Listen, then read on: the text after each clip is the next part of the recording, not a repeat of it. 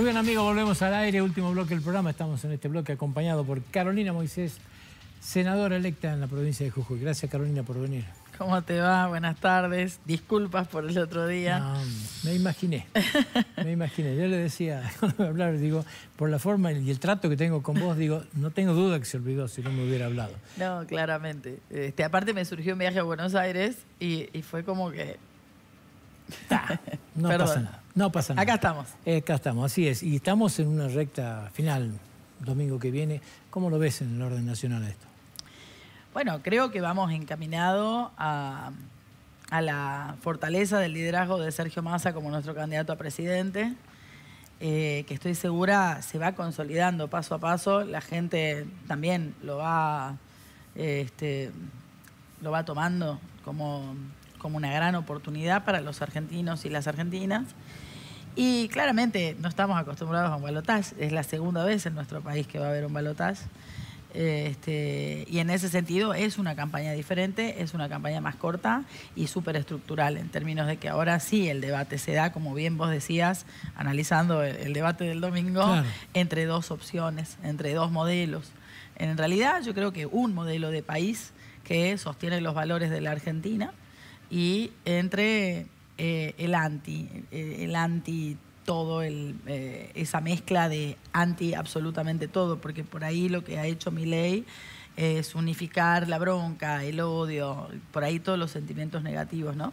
Entonces, en eso nosotros siempre nos ponemos en una postura superadora, sabiendo que hay muchísimo por mejorar de un gobierno que ha tenido dificultades, que hay cosas que no ha sabido resolver positivamente, pero que también hay un montón de cosas por defender que tiene que ver no solo con la concepción del peronismo respecto a eh, este, nuestros ejes troncales, a la redistribución de la riqueza, a la solidaridad, a un, gobierno que esté presente con determinados sectores que son más vulnerables, con el desarrollo económico sostenido sobre la base del trabajo y de las inversiones, sino que también tiene que, que ver con valores incluso más profundos, ¿no? que hoy se están poniendo en duda, el derecho a la, a la- a la vida y a vivir en paz, por ejemplo, con esta consigna de mi ley de la libre portación de armas, o como bien dijiste vos en el editorial, cosas que son un ejemplo para Latinoamérica, como es nuestro programa de donación de órganos, que le salva la vida a muchísimas personas y que además es público, es gratuito, es transparente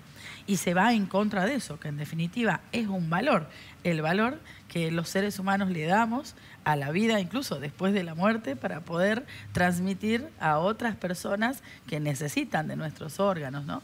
Eh, o lo que vos hablabas del deporte, porque la verdad es que coincido en estos valores deportivos y que también a veces estos ejemplos, ¿no? Surgen gran parte por el esfuerzo propio del deportista, pero en ese deporte está la construcción de eh, este, una sociedad que trabaja en equipo, una sociedad que aprende a superar obstáculos juntos, ¿no? Yo lo veo como presidenta de Tiro Gimnasia y siempre dije, o sea, eh, el hecho de eh, lo positivo que son los clubes de barrio, los clubes que permiten tener esta cantidad de disciplinas y el acceso casi gratuito, digamos, a todas esas disciplinas y que si no fuera por la atención del Estado para que nuestros deportistas olímpicos, que coincido, tienen muchísimo por mejorar, este, también tiene que ver con la inversión social que se hace en deporte, en educación, en salud, como planteaste, ¿no? Entonces, vos hablabas de, este, eh, de, las políticas sanitarias, ¿no? Y de y bueno, esa inversión de que la salud es pública y es gratuita, es gratuita porque no la pagamos, pero básicamente es costosa, Claro. altamente costosa, ¿no? Entonces vos decís, Argentina tiene el programa de vacunación más importante de Latinoamérica, gratuita. Todas las mamás sabemos que llevamos a nuestros chicos a atenderlos y tienen garantizadas todas las vacunas. Entonces yo en la campaña me preguntaba, bueno, ¿y las mamás que tengan que pagar 40, 50 mil mangos cada vacuna? Entonces, eso es lo que está en duda por ahí, o lo que pone en duda y amenaza mi ley, ¿no? Ese sistema de valores de un país que ha ido construyendo su democracia y su convivencia este, con verdaderos parámetros de solidaridad y de libertad. Entonces, hoy creo que es la Argentina versus mi ley, ¿no? Este, Así definiría el balotaje. Antes de hacerte una, una pregunta, quiero hacer una pequeña aclaración, pues yo cuando hablé de lo deportivo me centralicé en los panamericanos, por eso toqué el ejemplo de Ferrari. Hoy Jujuy tiene mucha gente, no quiero que ningún padre me diga, Sí. te olvidaste de... No, no, si los tengo en cuenta, tienen muchas expresiones deportivas de excelencia dando vuelta por el mundo hoy, pero bueno, el, ejemplo venía por los panamericanos. En este marco, digamos, de, campaña en Jujuy hoy, este, ¿cómo lo enfrentan ustedes? ¿Es distinta a la que trabajaron, ¿no es cierto?, en las anteriores, porque hoy inclusive hasta el oficialismo local tiene un mensaje que está mucho más cercano a Sergio Massa, absolutamente distante de Javier Milei. ¿Cómo se está trabajando en este sentido y cómo están llegando en el orden provincial?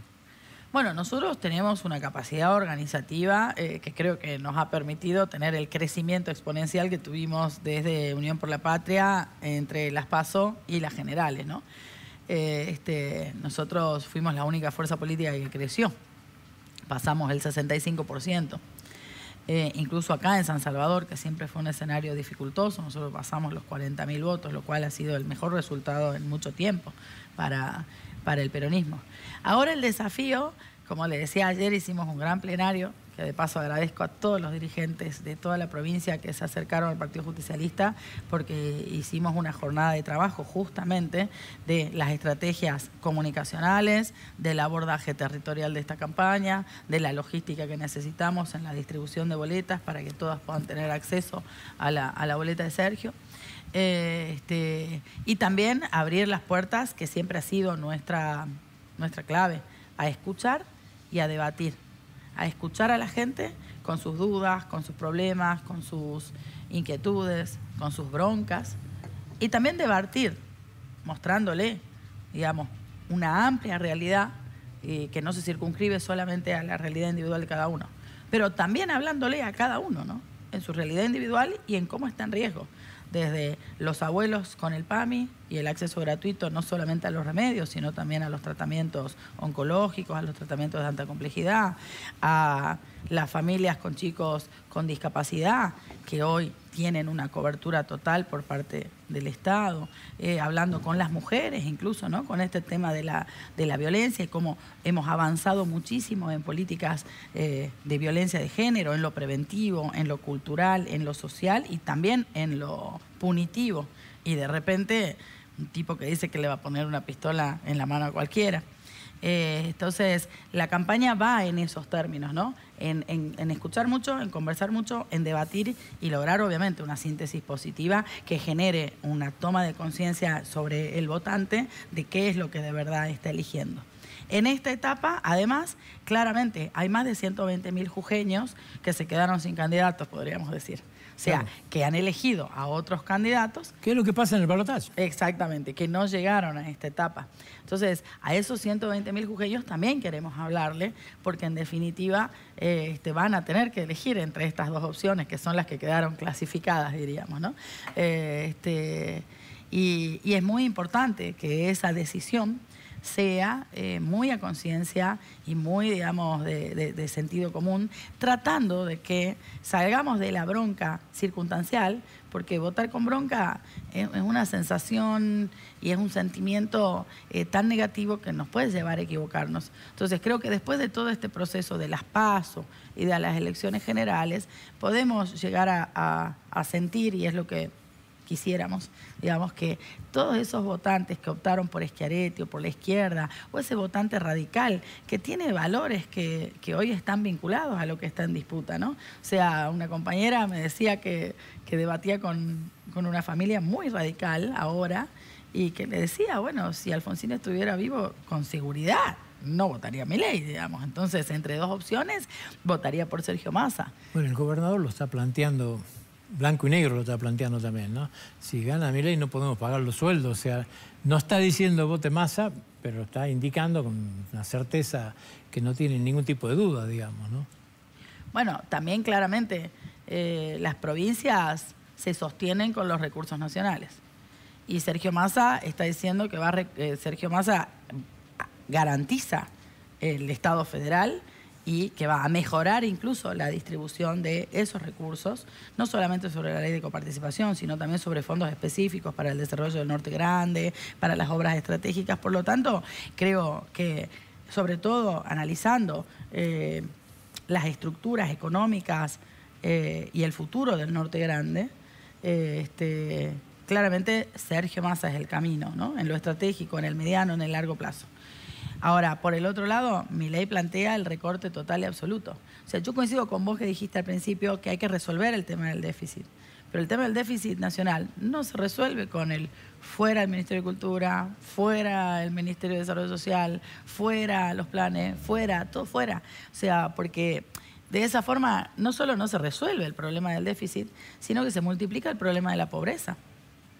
Y entonces hay un gran desafío y es que la Argentina, que tiene mucha riqueza, produzca más riqueza exporte más, pero que esa riqueza sea reinvertida en el sistema productivo para generar empleo genuino, para generar ingresos estables y en blanco, para generar una mejora en el poder adquisitivo de los trabajadores, pero además también para pensar en todos aquellos que son monotributistas, monotributistas sociales, trabajadores en negro, toda la economía informal que acá en Jujuy y en todo el noroeste argentino es muy grande. Es muy grande. Entonces, ahí hay todo un proceso y un trabajo para hacer y creo que Sergio Massa tiene la capacidad, la formación, es un cuadrazo político, el conocimiento del Estado, esos equilibrios que necesita el Estado para ser eficiente y sobre todo cómo eh, la inversión social que hace el Estado de verdad sea una inversión que la podamos pensar en el desarrollo y en el bienestar de todos y de todas. Entonces, creo que en ese sentido está claro pensar que las provincias como la nuestra, si llega a ser presidente Milei, yo no sé qué haría Sadir, por ejemplo, como futuro gobernador, cuando le recorte la coparticipación, que no solo es eso, hay cantidad de fondos específicos de asignación nacional a las provincias. Vos hablabas, eh, este, digamos, desde las inversiones en obras públicas, por ejemplo, las inversiones en rutas. Entonces yo hablé en mucho materia de, salud y de educación hay fondos específicos. Educación, cantidad de fondos específicos para eso. La universidad. O sea, yo la verdad que hay un, hay un sector que, que que no logro entender. Y de verdad que hice un gran esfuerzo para comprender, para trato de ponerme siempre en el lugar del otro.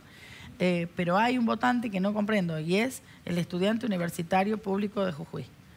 O sea, los chicos que van a la universidad pública, que de ninguna manera podrían estudiar, ser profesionales, eh, este, pensar en una carrera, eh, este, si no fuera por la universidad pública. ¿Cómo y ley está diciendo que lo va a privatizar. ¿Cómo te lo imaginas a, a Sergio Massa presidente? Yo creo que va a ser un gran presidente. Porque es diametralmente opuesto, no sé si lo ve así, a lo que puede haber sido Alberto Fernández. ¿Ves otra cosa? ¿Cómo lo ves? Sí, sí, sí. Yo creo que, que, Sergio tiene, se ha formado para ser presidente. ¿Y cómo la ve a Cristina en esto? Creo como dice Sergio, Cristina está tomando un rol que es importante y es fundamental, ¿no? Este, pero quizás no es el protagónico hoy. Eh, y está muy bien. Por eso la gente puede ver en Sergio Massa esa, esa fortaleza de espíritu, esa capacidad permanente, esa vocación transformadora, eh, esas herramientas que necesita un dirigente en la toma de decisiones, tomar decisiones por los demás, en la puja de intereses, que es un país complejo como el nuestro. Digamos, creo que con Sergio tenemos garantizado ese perfil, como se le dice, de quien puede y sabe gobernar. Entonces, creo que en eso es inigualable en el escenario electoral de hoy. A contrapelo tenemos a un tipo que la verdad termina siendo Cuesta mucho un personaje vacío, eh, que no tolera ni una repregunta, eh, este, que que no tiene contenido en cuanto a cómo hacer las barbaridades que dice que va a hacer. Y vos sabés que hay, otra, hay otro dato en la temperatura social. Hay mucha gente que dice que lo va a votar porque dice que no cree que va a hacer todo lo que dice. O sea, también me parece bastante extraño porque en general lo que te piden de los políticos es que hagas lo que decís que vas a hacer, ¿no? Y, y, por otro lado, un Milei que es, es, lo mismo que Macri, porque de verdad, y es peor, porque eh, en, algún, en algún sentido, porque todo ese discurso anti, anticasta termina eh, asociándose con lo peor de la casta, como él lo define, ¿no? que es esa casta empresarial, económicamente poderosa, que ha condicionado históricamente los vaivenes de nuestro país. Entonces, creo siempre en lo positivo y, y en un sistema de valores que garantiza la integridad social, la solidaridad, eh, un sistema que puede ser muy defectuoso este, desde el Estado con falencias, con seguridad, pero que definitivamente en infraestructura social, o sea, escuché una candidata que decía que la gente tiene que pagar las cloacas. Entonces, por eso también vuelvo al metro cuadrado del argentino, de la argentina, que sabe que tiene ese acceso. ¿Sí? A la cloaca, al agua potable, a la salud, si te quebras la pata el sábado jugando al fútbol o si tenés un accidente. No tenés que ir a firmar un documento en blanco como en una clínica privada. Y eso es lo que va a pasar si gana mi ley. O sea, vas a tener que firmar un documento en blanco en la puerta del Pablo Soria si tenés que atenderte, no digamos de la alta complejidad. Entonces digo, volvamos al metro cuadrado de lo que está en riesgo de, de nuestra forma de vida, inclusive de nuestras libertades. Porque ellos se dicen libertarios, pero ¿qué libertad vamos a tener cuando cualquiera pueda tener un arma en su mano? ¿Qué libertad vamos a tener en el Alto Comedero, en Punta Diamante, eh, este, donde las propias mamás te dicen que la mayor problemática es las adicciones? ¿Sí? Y la inseguridad que siente el barrio sobre el producto del el alcoholismo y las adicciones, donde los, polideportivos se han transformado, en vez en espacio de, de compartir y en espacio saludable, en muchos casos se han transformado en aguantaderos de droga. Ah. Pongámosle solamente un arma en esa escena. Entonces, digo, eh, es muy grave eh, lo, que, lo que se plantea. Entonces, en esa gravedad es que tiene que estar la seriedad como ciudadanos y ciudadanas a la hora de elegir. Carolina, no quiero terminar sin hablar un poquitito de lo local. quiero saber tu opinión respecto, a decir, ha encontrado en el inicio del año un partido justicialista complicado, intervenido con posterioridad, sin embargo, ha tenido la capacidad de reinventarse, de ir a una elección este, mala, ¿no es cierto?, en las PASO, y de repente ser, como vos decís, el único partido que ha crecido, pero no solamente que ha crecido, sino que ha crecido exponencialmente, digamos, ¿sí? Este, ¿Qué visión ves para adelante y cómo se sale de esto también? Porque no es bueno tener el partido intervenido. ¿Cuándo van a estar dadas las condiciones? ¿Cómo ves el futuro de esto? Mira, con Guillermo eh, estamos muy... Eh, muy abocados hoy a, la campaña presidencial, al 19. Y previo a eso era el 22. Eh, por supuesto que tenemos que empezar a mirar ese futuro porque la gente también nos ha, nos ha generado hoy un gesto de mucha confianza a nosotros como dirigentes, pero no solamente a nosotros, que en definitiva seríamos un poco eh, los personajes de, la elección, porque éramos quienes encabezábamos la lista, sino un gran equipo, a un gran, un gran equipo generacional que necesitaba hoy este espacio que permite el Partido Justicialista para, lucirse, para crecer, para ser protagonistas. O sea, un, gran equipo generacional de cuadros políticos, de cuadros técnicos, que hoy se han abocado a esa campaña. O sea, por ahí la interna fue, bueno, una definición creo que qué generación gana, era bastante generacional nuestra, nuestra interna, ¿sí? La que representaba el pasado, eh, el peronismo por ahí perdedor, el que se quedó encerrado en una realidad que, que no existe. Quizás los que representaban una nueva generación, digamos, más movilizada, con otros criterios.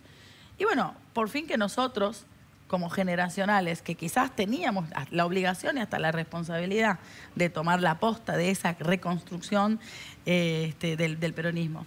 Esa reconstrucción que está basada en reconstruir los valores históricos del peronismo, en recuperar la militancia y el compromiso militante de la vocación de servicio de quien forma parte de esta causa y la propuesta futura, la proyección política de, de un de un proyecto de Jujuy que es el que estamos construyendo y que vamos a seguir haciéndolo, por supuesto, con muchos otros actores, donde nuestra búsqueda es la participación, la apertura, la convocatoria. Ayer tuvimos un plenario extraordinario con más de 200 dirigentes de toda la provincia, del interior, de capital. Eh, fíjate el crecimiento en capital. tiene, tiene que ver con figuras, con figuras nuevas, con figuras nuevas organizando eh, este, el esquema territorial, eh, abordando los barrios, trabajándolos a conciencia, en mano a mano con la gente. Entonces, ese es el futuro que yo veo del peronismo, ¿no? O sea, va mucho más allá de las personas,